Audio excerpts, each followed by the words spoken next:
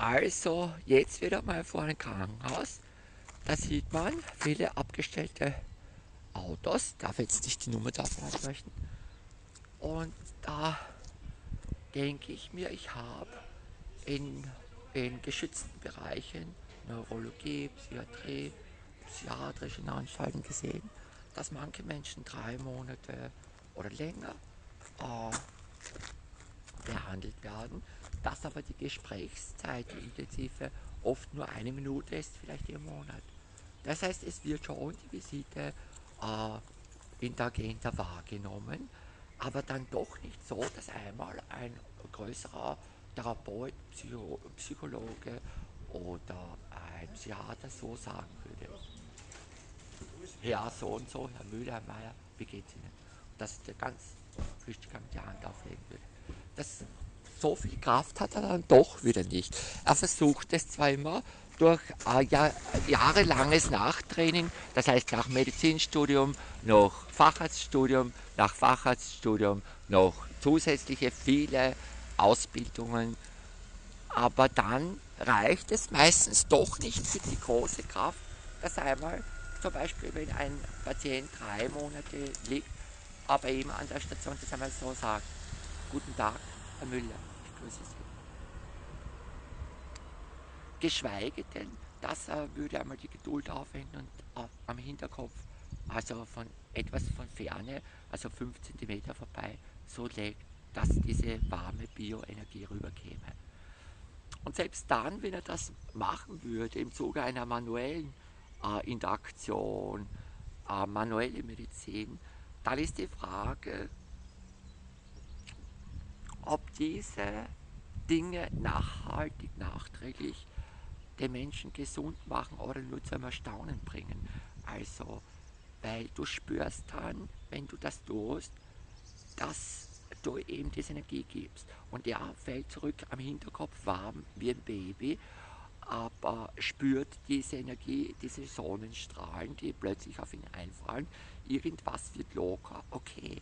Aber dann ist auch als Geschöpf, nehmen wir an, das ist ein 50-jähriger Mann, der behandelt wird, dir irgendwo ausgeliefert, verstehst? Weil er sieht, du bist der Machtträger, du bist so wie Schamane, du bist der Psychiater, Arzt, Heiler und ich habe 50 Jahre in der Fabrik gedient, monotonisiert am Arbeitsplatz und habe das ganze Leben keine Liebe von einer Frau erhalten, keine Zärtlichkeit, weder durch Kochen, durch Sexualität, noch dass ich ein Kind in die Welt setzen durfte. Alles wurde mir äh, frustriert, verstehst? Und dann kommt ein fremder Mann, also dieser Heiler ist ein Mann, mein Rivale und tut bei mir so, okay? Und ich bin wie ein Baby und spüre diese Wärme, die Sonnenstrahlen.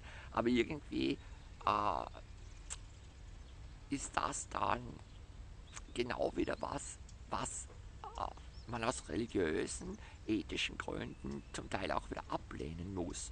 Das heißt, dass man sich so tief dann verbeugt, tiefer als in dieser knienden Hocke als Klient. Verstehst du von diesem Menschen? Bitte reinhalten. Das gilt in der Psychiatrie und in der Medizin, in jeder Art von Schulmedizin oder Naturheilkunde oder bioenergetische Übertragung oder Schamanismus, dass man aufpassen muss. Wir leben ja in einer äh, ethnologisch, äh, äh, von der ethnologischen Seite könnte man sagen, einer äh, Welt der Vereinsamung, wo jeder nur Empfänger ist, aber nicht interaktiv mit dem Heiler kommuniziert. Das heißt, er wartet hier im Krankenhaus ein paar Tage, bis sich jemand um ihn bemüht und dann drei Minuten längstens auf ihn einspricht. Also das, was das wirkliche Gespräch dann bedeutet, verstehst? Und dann muss er wieder in wartender Stellung, im Warten des Godons beharrlich absitzen, verstehst? Und in den Naturvölkern, also das, was ich ansprechen, spreche, die Kardinalfähigkeit, das Kardinalvermögen des Relativismus bedeutet auch in der Ethnologie, dass man erkennt, dass es andere Völker gibt, wo ja der Stamm den ganzen Tag eng mit, mit den Armen, mit den Schultern aneinander, gegeneinander zum Beispiel so gelenkt ist. Zum Beispiel, ich habe einen Freund gehabt als Junge in südlichen Kulturen, mit dem bin ich immer so gesessen, wie ich an diesen äh, äh, Containerkübel jetzt sitze. Also Rücken an Rücken und wir haben diskutiert. Und andere haben uns beleidigt, weil wir seien vielleicht homosexuell oder sowas. Das ist überhaupt nicht. Sondern wir, wir haben immer gefühlt diese Stärke im gegenseitigen Kontakt haben, sich rückenmäßig abzustützen. Und jeder hat seine Flasche gehabt, irgendwas zu trinken und einmal geplaudert. Das war Gaude. Und wir haben nie das ganze Leben keine einzige, also diese zehn Jahre oder mehr, keine einzige handgreifliche, also wir haben uns nie irgendwie was wehgetan.